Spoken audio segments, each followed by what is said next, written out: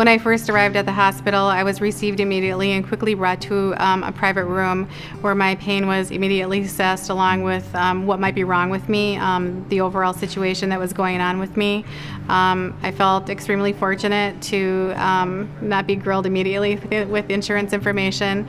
I had given that information to my dad in the car on the way there, and um, graciously they, they let him handle it until my situation was completely assessed and my pain was managed. The level of care from the staff was far superior to anything that I had expected or imagined. Um, their level of care was more of inquiring about my well-being overall, not just what they're trained to ask or offer um, in their room visits. Um, yes, they did ask me what my pain level was, but they also were interested in where was I at? How was I mentally? How was I emotionally? How was I sleeping? How was I resting?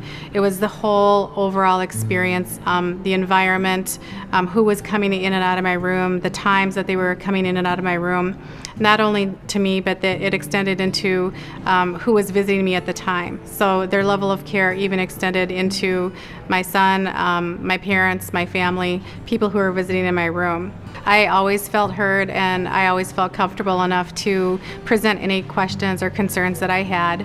Um, there was one particular night where I knew that I probably didn't want a specific nurse back, and um, so I did request that another alternative be put in her place.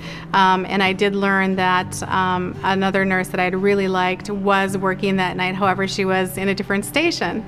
So I don't know what they did um, behind the scenes with scheduling, but they did arrange for um, the switch out to take place so that this particular nurse could be my nurse that night. I think most people would say that the nighttime part of the stay in a hospital is not the easiest time or the best time. In fact, most people kind of joke around about how you don't sleep at night in a hospital.